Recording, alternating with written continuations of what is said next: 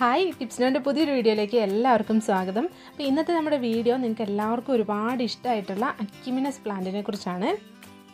അപ്പോൾ വീഡിയോയിലേക്ക് പോകുന്നതിന് മുമ്പ് നമ്മുടെ ചാനൽ ആദ്യമായിട്ട് കാണുന്ന ആരെങ്കിലും ഉണ്ടെങ്കിൽ ചാനലൊന്ന് സബ്സ്ക്രൈബ് ചെയ്തുകൂടി സപ്പോർട്ട് ചെയ്യുക. അതിന്റെ തൊട്ടടുത്തൊരു കുഞ്ഞ് ബെല്ലൈക്കൺ ഉണ്ട്.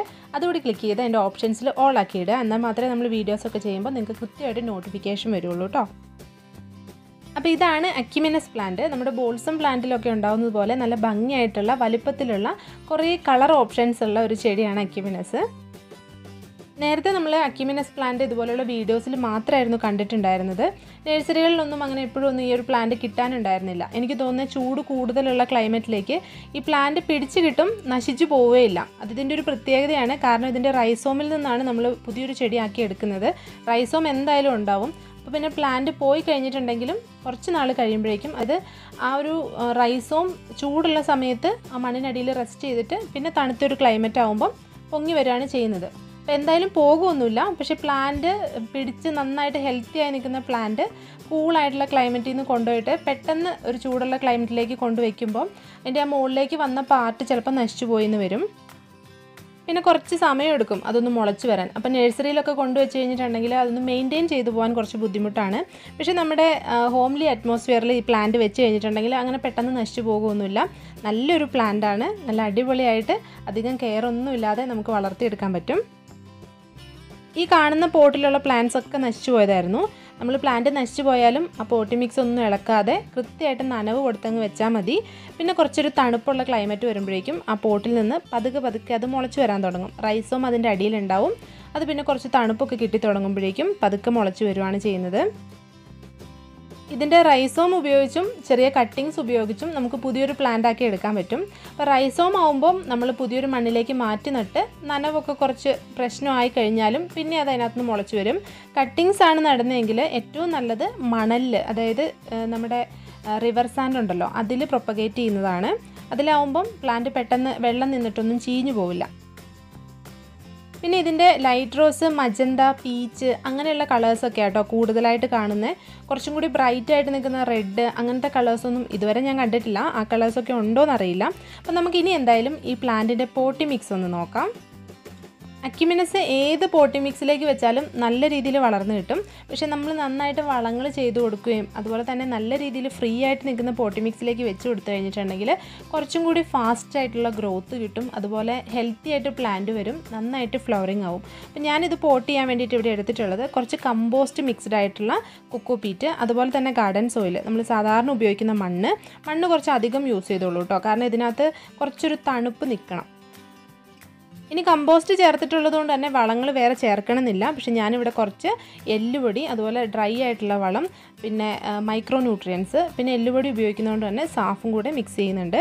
പിന്നെ ഈ ഒരു പ്ലാന്റാണ് നമ്മളിപ്പോൾ റീപ്പോർട്ട് ചെയ്യാൻ പോകുന്നത്. ഇതിപ്പോൾ നല്ല ഹെൽത്തി ആയിട്ട് വന്നിട്ടുണ്ട്.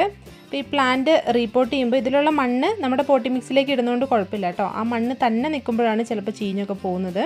ഇതിന്റെ ഉള്ളിൽ റൈസോം ഉണ്ടാവും. ഞാനത് കാണിച്ചു തരാം. പിന്നെ ഇപ്പോൾ ഈ ഗ്രോ ബാഗിൽ കാണിച്ചിട്ടുള്ള സെയിം സൈസിലുള്ള പ്ലാന്റ് ആണ് നമ്മൾ അയച്ചു തരുന്നത്.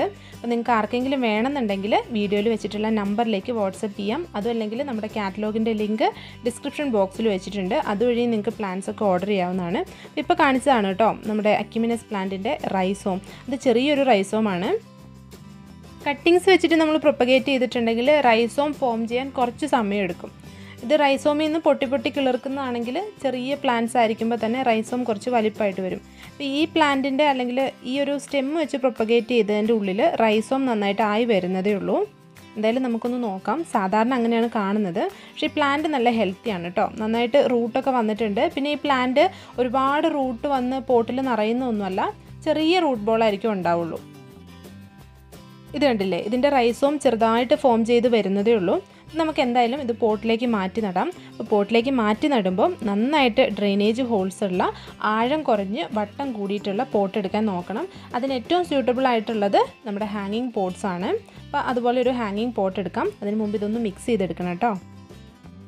മഴയും തണുപ്പൊക്കെ ആയതുകൊണ്ട് തന്നെ ചാണകപ്പൊടി മാക്സിമം ഒഴിവാക്കുക. നന്നായിട്ട് ഡ്രൈ ആയിട്ടുള്ളതുണ്ട്. ഇനി വേറെ വളങ്ങളൊന്നും ഇല്ലാന്നുണ്ടെങ്കിൽ അത് ഉപയോഗിച്ചോ. പിന്നെ മഴക്കാലം ആയതുകൊണ്ട് തന്നെ നമുക്ക് ആട്ടിൻ കാഷ്ടം അതുപോലെ കോഴി വളങ്ങളൊക്കെ പോട്ടി മിക്സിൽ ഉപയോഗിക്കാം. പക്ഷേ നമ്മൾ കുറച്ച് നേരം അതൊന്ന് വെള്ളത്തിലിട്ട് വെച്ചിട്ട് അതിന്റെ ചൂട് കളഞ്ഞതിന് ശേഷം മാത്രം ഉപയോഗിക്കാം. പിന്നെ ഏത് പ്ലാന്റ് നടാനുള്ള പോട്ടി മിക്സ് ആണെങ്കിലും ഈ ഒരു സമയത്ത് നമ്മൾ ഉണ്ടാക്കുമ്പോൾ കുറച്ച് ഫഞ്ചിസൈഡ് അത് നാച്ചുറൽ ആണെങ്കിലും കുഴപ്പമില്ല. അതായത് വേപ്പിൻ പിണ്ണാക്കൊക്കെ ആണെങ്കിലും കുഴപ്പമില്ല. നമ്മൾ പോട്ടി മിക്സിൽ യൂസ് ചെയ്യണം. കാരണം എന്താണെന്ന് വെച്ചിട്ടുണ്ടെങ്കിൽ ഇപ്പോൾ വേര് ചീഞ്ഞിട്ടാണെങ്കിലും ഫംഗസ് വന്നിട്ടാണെങ്കിലും പ്ലാന്റ് നശിച്ചു പോകാനുള്ളൊരു ടെൻഡൻസി കൂടുതലായിട്ട് കാണിക്കും.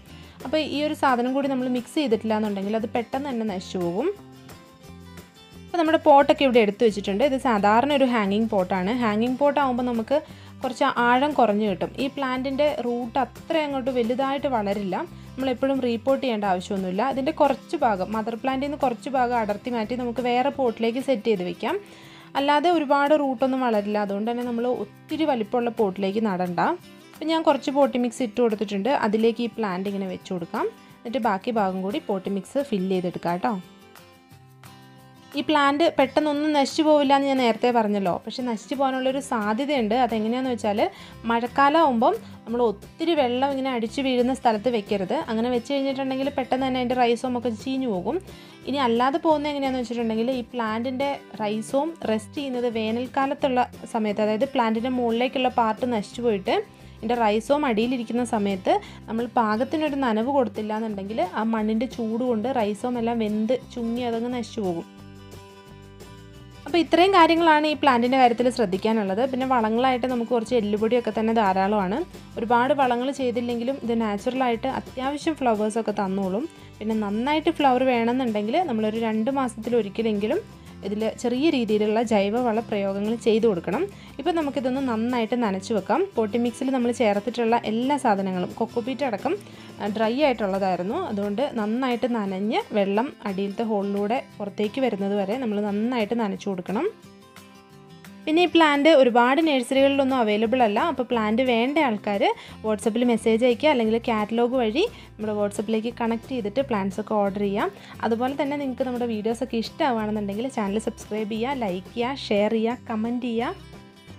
അപ്പോൾ നമുക്ക് പുതിയൊരു പ്ലാന്റിന്റെ അടിപൊളിയായിട്ടുള്ള വീഡിയോ ആയിട്ട് കാണാം. Thanks for watching